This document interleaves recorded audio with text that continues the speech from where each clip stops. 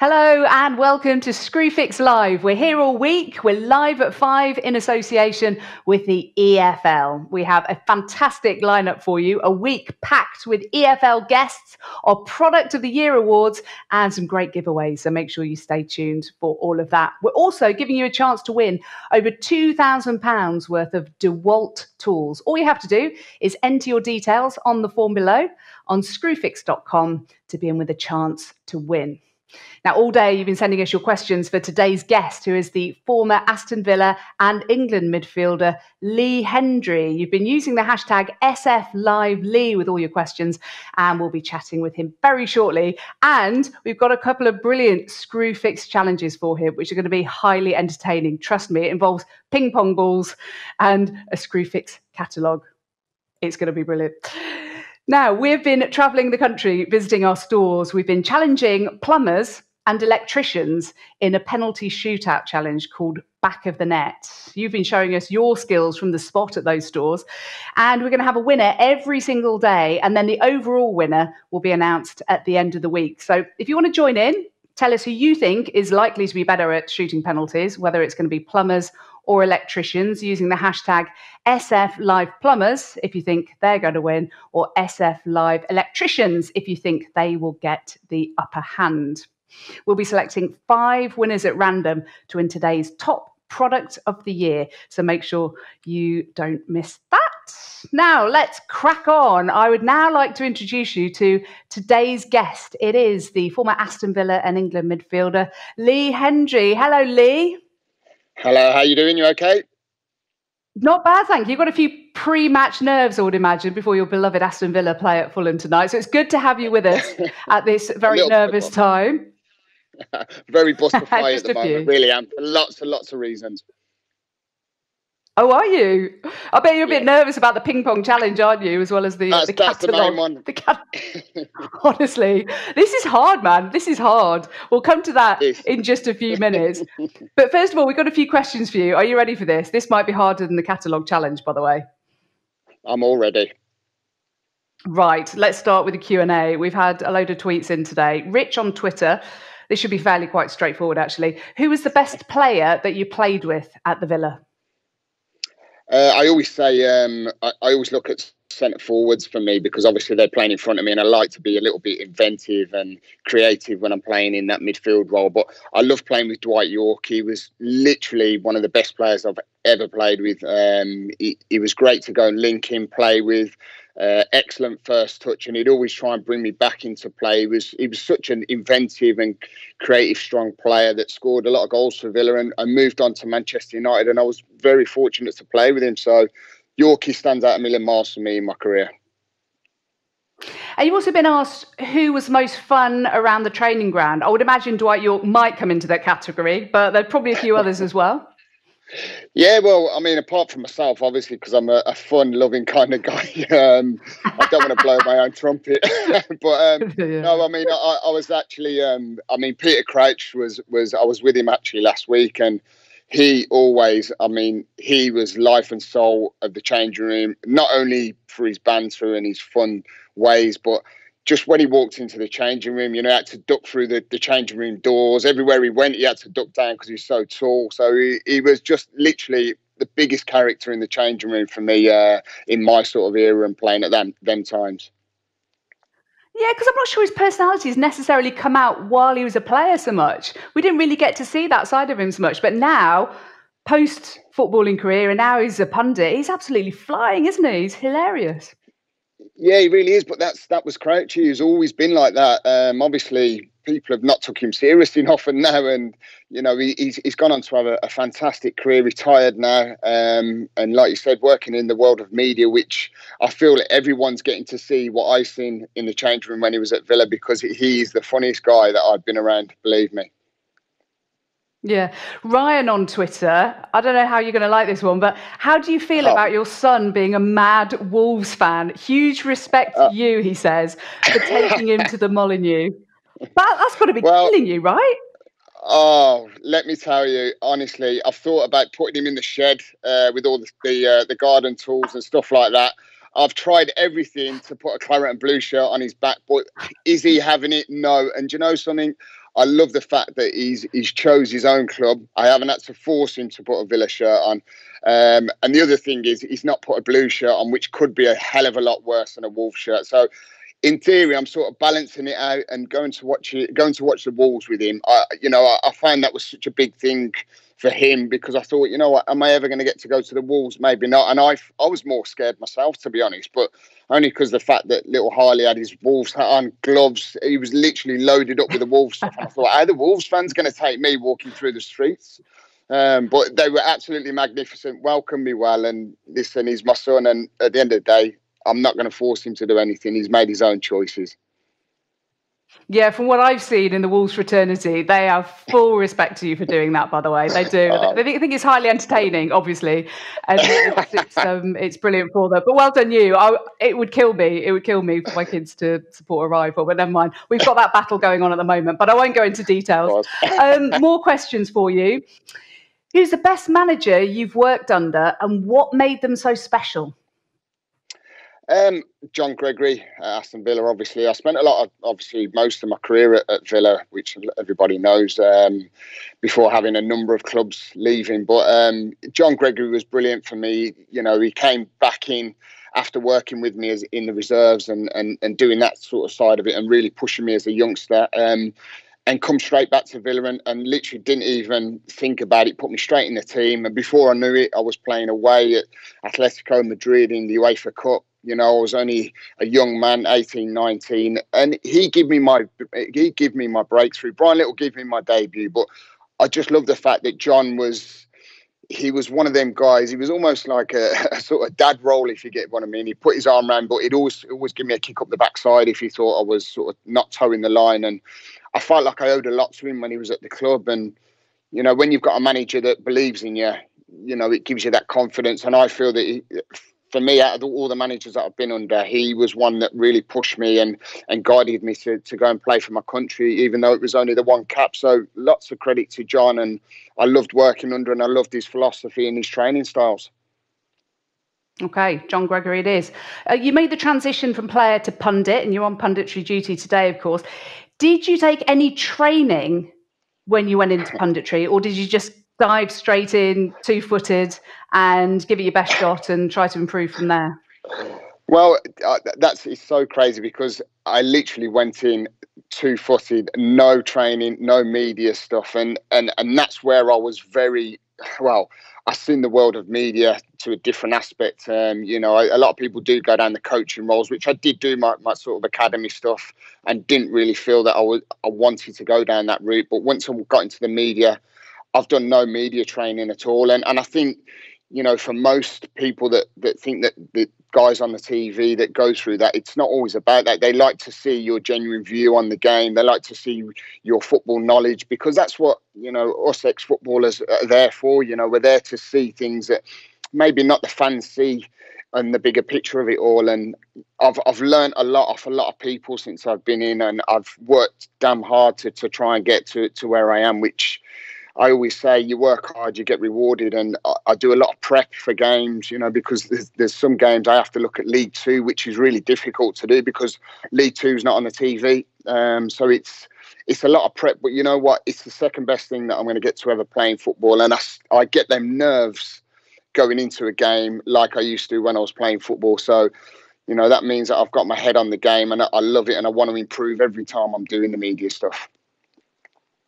And do you do what the likes of Danny Higginbotham does, which really impressed me when he made the switch from playing to punditry, which is he phones people up because obviously as an ex-player, you've got all those contacts, or you know someone who knows someone who knows someone. If you're doing a game, then you can phone somebody in the week ahead of a game and get the inside track. Because I tell you, we presenters absolutely love it when you pundits bring something extra like that, a little nugget or inside track for us.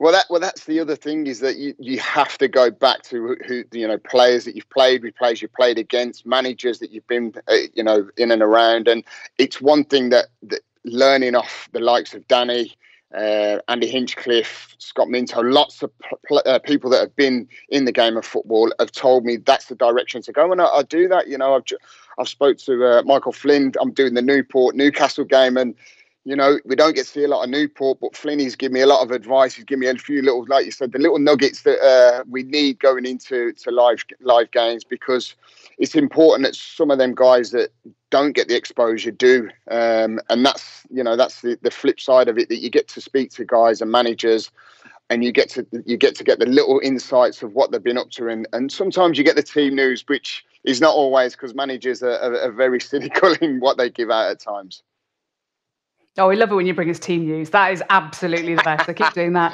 Oh, we had a question about about the championship, and this is a fascinating one because when you look at the other leagues around Europe, the championship is so highly competitive, and you look at the wages as well, and the crowds, obviously pre-lockdown. Where would you rate the championship as a division in terms of all those leagues around Europe? Oh, it's that's a. Uh, do you know what? That is a very good question because working in the EFL and doing the championship stuff, I've got to say, it is one of the best leagues. I mean, I think this season, um, you know, lots of the so-called bigger clubs have, have gone back into the Premier League, which sometimes flips differently. And you know, when you've got the likes of, uh, uh Villa in there, Fulham, who obviously have gone up, and I mean, this year we've got the likes of Watford and, and Bournemouth. It, I, I, think it's a very, very good league. You know, I, I can't say it's as close to, to sort of the Premier League and I mean, I, lo- I love La Liga. I think it's very good, the French league, but it's certainly up there with, with in the top five for me um, because I feel that there's so much competition. There's so many big players that are coming through. Now we're seeing players coming from the Championship going and playing in Premier League football, and also Championship players going abroad. We've seen Jude Bellingham go over to Germany and, and, and stake a claim out there. So it just shows that how big the championship really is, and I've got to say, it's one of the most exciting leagues I feel uh, uh, in all, in all leagues, in all categories. Finally, an extremely important highbrow question from Rachel. She wants to know what's his and yours favourite ever animation film? Oh wow! Um, I'll probably have to say that's a very very good question. Um, I've got to probably say, if I'm being honest, I'd have to throw maybe something like Shrek out there. Would that would that be okay? yeah, absolutely. I'm struggling. I'm thinking Watership I'm, Down, but that that's well, let's go back I, a bit. I, I know. Well, I, am I'm, I mean, that, I'd have to go for like the cartoonish sort of style, which uh, you know, I, I, I, obviously my children love watching, but I'm not really into the sort of animation stuff. I'm into like the true stories and stuff like that. The uh, the more documented things that I can relate to. I'm absolutely with you, Lee. But um, I would have said Frozen, but we've got to let it go. Oh, it's just an absolute killer, isn't it? That just non-stop, bad, non-stop. I've, I've only ever heard that ever since. Um, right. Thank you for your answers. Thank you. Now, that is the questions from the viewers, but we're going to challenge our guests every day. You know what's coming next, don't you? I do. I do. you know what's coming? We're challenging our football guests every day with how familiar they are with the Screwfix catalogue. Right, there are 33,000 Screwfix products listed in here. And I know you've been swatting up all week, haven't you, to find out exactly where they are. But you are going to be our very first ever contestant. no one's ever done this before in the Catalogue Champions Cup. Oh, my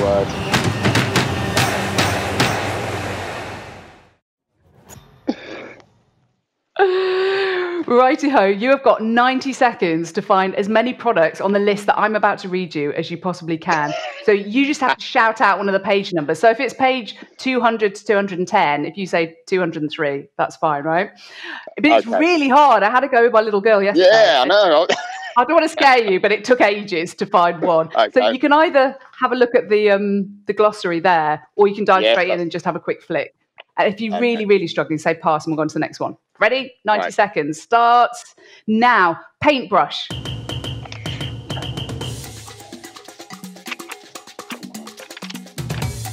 This is so hard, by the way. This is. Oh, I that, that. I know. Um, That's why I'm enjoying it so much. Pass. Gloves. What was that? Gloves. Look in the index. I've just seen it. I've just, I know. I've just, I've just seen them. Then I've just seen them. They've just passed by my. Uh, this is solid, by the way. This is solid.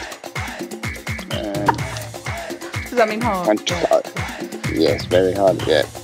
Uh, oh no, just seen that. Go on, pass. Okay, boiler. This is on lots of pages. You've just got to name all the pages that it's on. There are boilers on loads of pages. Can I have a little guess at it? Yeah, you can do what you like. No, timber deck screws. Uh, quite hard. It's only on pages in the whole. Five hundred. this is absolutely solid, by the way. Um, I'm enjoying this so much. Yeah, I can imagine. enjoy you your pain, but it is highly entertaining. I need to get one. Radiator. Yeah. Screwdriver. Screwdriver. You've got to find a screwdriver. You're nearly out. Uh, no, uh, 800. Nearly. Time's up. Oh my god, you were so close. It was 805 to 809. Oh my, no. You were so close. You're almost, hang on, if I go 800, if I go 800, then you're very close to the screwdriver department. Oh no, I've just but looking at it now. You're on pliers. That has pliers. hurt me. That has hurt me. That has. I mean, I don't want to rub it in. I'll give you the leaderboard now because whilst none of our other guests for the rest of this week have competed yet, they have they've got they've got the same number of points as you have which is uh-uh. so bad luck, bad luck. But this next one, I think you're going to fare a little bit better at. There we go, dear oh dear. Yeah. Paul Dickov, Dean Windass, Danny Cowley, Jimmy Floyd Hasselbaink oh. will be seeing if they can do even better than you later on this week. Now, the next challenge is going to be fun. We like to call it the Screwfix T Pong challenge. So we're going to test your hand-eye coordination in this one. Were you oh, ever yes. any good as a goalkeeper when you used to go? Were you? No, no good at all. I hated holding balls. No, I'm not a goalkeeper now. really, Wayne Rooney, Robbie Savage were pretty decent in goal, but you were. Never mind. Let's have a look to see if you can get six ping pong balls into one of our six Screwfix cups. Well, that was the idea, Lee. that was the idea to try with six ping pong balls, which you were sent six Screwfix cups, which you were sent as well. Now, if anybody watching online wants to have a little crack yourselves, if you've got a ping pong ball or some kind of little ball around the house, try and get them into six cups while we're doing this or afterwards. And then you can record your effort and send it to us using the hashtag SFLive2020. That's hashtag SFLive2020. Send them to us and we might well play them in later on this week. So let's have a look, Lee, at how you did. Here goes. Okay, now talk us through the thought process here. You went for the bounce. I said, oh, excellent. You got one? Yeah. There's one. Two. Two? You're doing all right. There's two. Hey? Oh, that was two. That's two. That's one. I like your bouncing oh, technique yeah. here. The beans on toast. Off the beans on toast. But yes. That's not bad, though. At least you got a couple on the board. Imagine if you'd bageled both of the, the, the challenges. That would have been a little unfortunate. yeah, of course it would have. you managed to get a score of two. So thank you for that. That was good fun. I'm only laughing because I haven't tried mine yet. I've got to do mine this week and put it online as well with the hashtag SFLive2020. So I mustn't laugh. But you did um, you did handicap yourself rather by only doing five ping pong balls. What happened to the other one? Well, I've got three young three young boys, and they are absolutely carnage in the house. So I know that one's been taken out of the box, and obviously that was me disadvantaged straight away. So and I'm I'm just uh, if I had to guess, I think it was probably the uh, the four year old.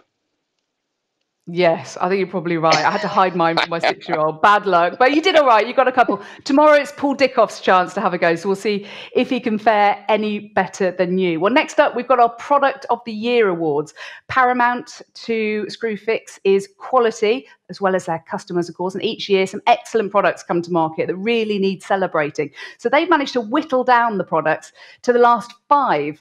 But there is, of course, only one winner. And today's category is the electricians Product of the Year. Here are the nominees.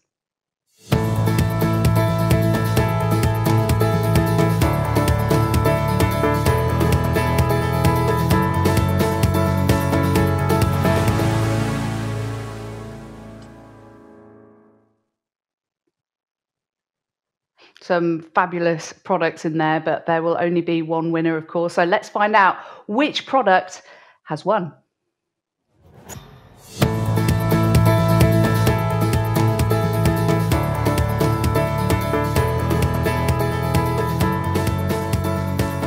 This is a message out to the Screwfix team and to all the customers at Screwfix. We at BG just want to say a big thank you for taking the time to actually go and vote for our product, the BG Weatherproof Socket. It's one for the second year running, and we're absolutely happy about that. So thanks so much uh, for your votes.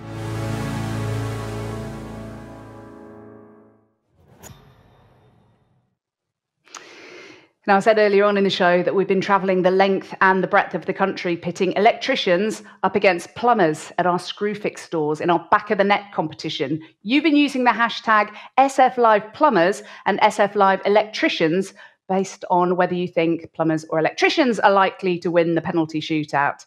Let's have a look at how they got on. Today it is the turn of Screwfix's local store to their HQ in Yeovil.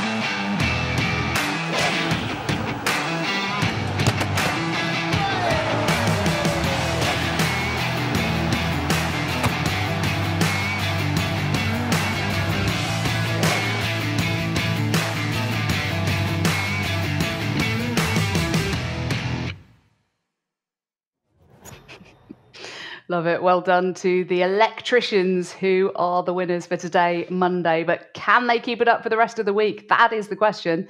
We'll be back every day this week with winners, either electricians or plumbers from our trip from around the country. We'll be picking five winners and we'll be contacting them shortly to send them out today's product of the year. That is the BG Outdoor Electrical Socket that is it for today's show. But tomorrow, between nine in the morning and four in the afternoon on screwfix.com, we will have a full day of product demonstrations. There'll be information from professional bodies and lunchtime Google garages, which is where you can go to see webinars designed to help you uh, run your business more professionally. That is all here on Screwfix Live. Then we're live again at five in the afternoon with another guest.